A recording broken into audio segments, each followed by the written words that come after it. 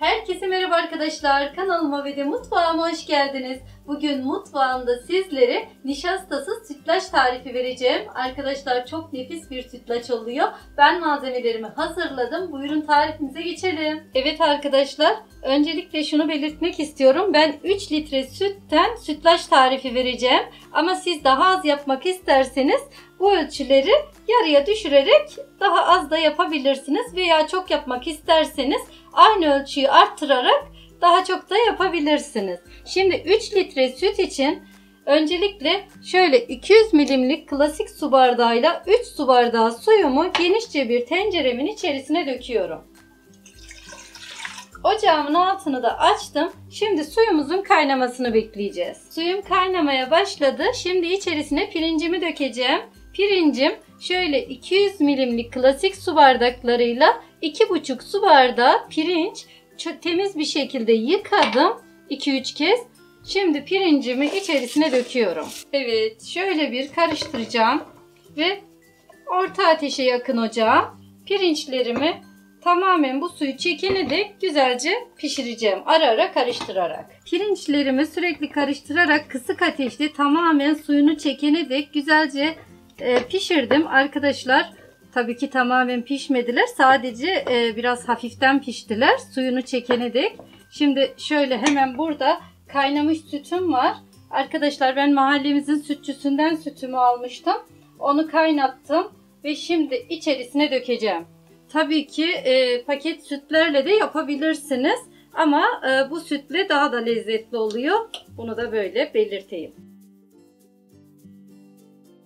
Şimdi şöyle bir karıştıracağım ve sürekli ara ara karıştırarak arkadaşlar orta ateşte pirinçlerim iyice yumuşayana dek güzelce sütlaçımı pişireceğim.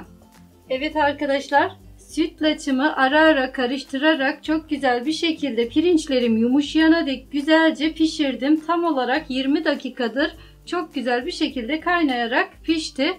Bakın böyle piştiğini anlamak için şu pirincini böyle elinizle alıp ezerseniz veya yerseniz piştiğini anlamış olursunuz. Bir de zaten kıvamından da belli oluyor. Böyle tamamen özleşmiş. Bakın. Arkadaşlar şimdi şekerini ilave edeceğiz. Şekerini şöyle 200 milimlik klasik su bardaklarıyla 3 su bardağı toz şekerimi döküyorum içerisine. Ve içerisine 2 paket vanilya katacağım. Arkadaşlar vanilya sevmiyorsanız katmak zorunda değilsiniz. Ama çok güzel aroma veriyor sütlaça. Biz çok seviyoruz. Ve şimdi ben de yine her zaman yaptığım gibi katıyorum. Bu arada arkadaşlar bizim evde çok sevilir sütlaç.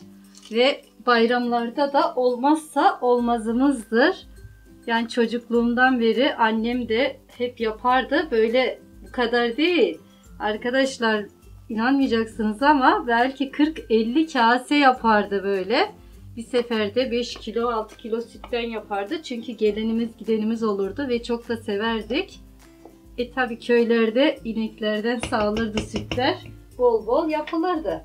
Şimdi şekerini vanilyasını kattıktan sonra böyle 1-2 taşım da e, kontrollü olarak yine kaynatacağım. Böyle şekeriyle de özleşsin, güzel kıvam alsın.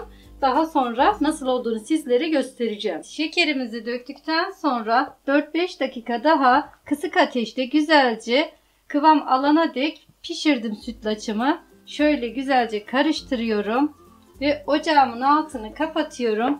Arkadaşlar sütlaçımızı sıcakken kaselere doldurmamız gerekiyor. Böyle kaynar kaynar hemen kasemi alıyorum ve sürekli karıştırarak dolduralım. Şu şekilde karıştırarak sütlaçımızı şu şekilde dolduralım. Kıvam muhteşem. Gerçekten arkadaşlar tam tutan, tam ölçülü bir sütlaç tarifi bugün sizlere paylaştım. Mutlaka deneyin. Denerseniz kıymetli yorumlarınızı eksik etmeyin. Bir başka videomda, bir başka tarifimde görüşmek üzere. Hoşçakalın.